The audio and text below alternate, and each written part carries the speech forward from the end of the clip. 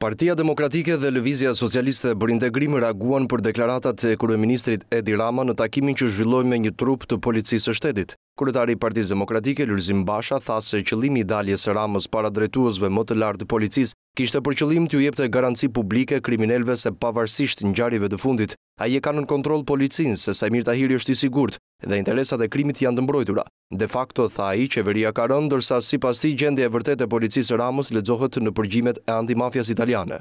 Në krah të Fatmir Xhafës, sot Edi Rama u betua se do të vendosë shpërblim për kokën e kriminelëve në kërkim.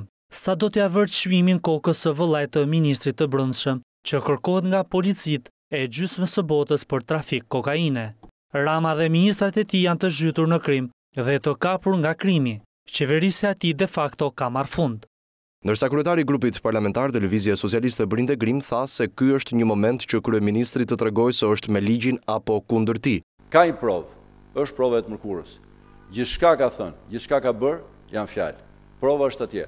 O mbështesim prokurorinë me të gjitha ajo ç'kërkon dhe me të gjitha ajo ka gjetur fajtorë dhe për të cilët ajo do të çojë deri në fund dhe do të zbardhë veprimtarinë e këtij grupi të strukturuar shumë të rrezikshëm kriminal, dimensionet tentakulet e të cilit janë vetëm një pjesë aparente, pasi pjesa tjetër është akoma në një proces zbulimi, hetimi dhe asgjësimi, ose në rast se nuk e bën këtë, nuk ka pse rikthehet përsëri si vrasësi në vendin e krimit, është më mirë të struket diku derisa ta gjejnë. Vasili i bëri thirrje Ramës të ketë kujdes. Bëj kujdes edhe me komunikimet telefonike, edhe me lëvizjet që bën, edhe me telefonatat, edhe me kërcënimet apo joshjet që u bën personave kyç, pasi të gjithë, për shkak të këtij shqetësimi mbarëkombëtar, me të gjithë të drejtën legjitime, janë të vëmendshëm e vigjilojnë mbi ty.